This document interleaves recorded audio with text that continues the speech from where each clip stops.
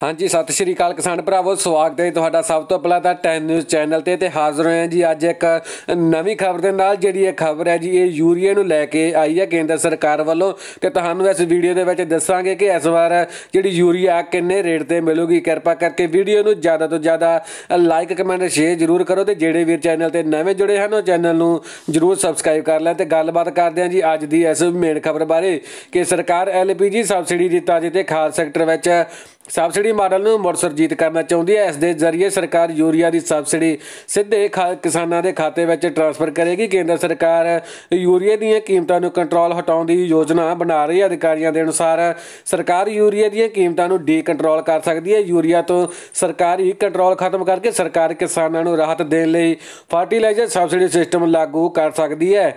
ਸਰਕਾਰੀ ਕੰਟਰੋਲ ਹਟਾਏ ਜਾਣ ਤੋਂ ਬਾਅਦ ਯੂਰੀਆ ਦੀਆਂ ਕੀਮਤਾਂ ਵਧ ਕੇ 400 ਤੋਂ 445 ਰੁਪਏ ਪ੍ਰਤੀ ਬੈਗ ਹੋ ਜਾਣਗੀਆਂ। ਦੱਸ ਦਈਏ ਕਿ ਇਸ ਵੇਲੇ ਇੱਕ ਬੋਰੀਆ ਯੂਰੀਆ ਦੀ ਕੀਮਤ 242 ਰੁਪਏ ਇਸ ਵੇਲੇ ਖਾਦ ਬਣਾਉਣ ਵਾਲੀਆਂ ਕੰਪਨੀਆਂ ਨੂੰ ਸਬਸਿਡੀ ਦੀ ਰਾਸ਼ੀ ਦਿੱਤੀ ਜਾਂਦੀ ਹੈ। ਪਿਛਲੇ ਸਾਲ ਸਰਕਾਰ ਨੇ ਖਾਦ ਸਬਸਿਡੀ ਤਹਿਤ ਲਗਭਗ 74000 ਰੁਪਏ ਕਰੋੜ ਰੁਪਏ ਜਿਹੜੇ ਜਾਰੀ ਕੀਤੇ ਸਨ।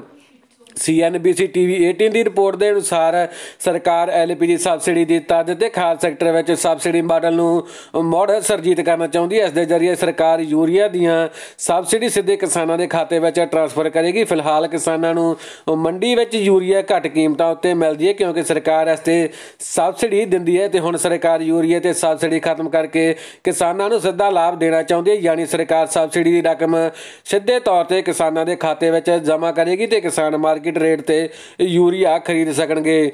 ਤੇ ਕਿਸਾਨ ਵੀਰੋ, ਇਹ ਸੀਗੀ ਅੱਜ ਦੀ ਖਾਸ ਜਾਣਕਾਰੀ ਤੇ ਤੁਹਾਨੂੰ ਸਾਡੇ ਦੁਆਰਾ ਦਿੱਤੀ ਜਾਣਕਾਰੀ ਕਿੱਦਾਂ ਦੀ ਲੱਗੀ। ਸਾਨੂੰ ਕਮੈਂਟ ਬਾਕਸ ਵਿੱਚ ਕਮੈਂਟ ਕਰਕੇ ਜਰੂਰ ਦੱਸਿਓ। ਤੇ ਅਸੀਂ ਹਾਜ਼ਰ ਹਾਂ ਤੁਹਾਡੇ ਲਈ ਕਿਸੇ ਨਵੀਂ ਖਬਰ ਦੇ ਨਾਲ। ਹੋਣ ਦੇ ਲਈ ਇਹ ਨਹੀਂ। ਧੰਨਵਾਦ ਦੋਸਤੋ।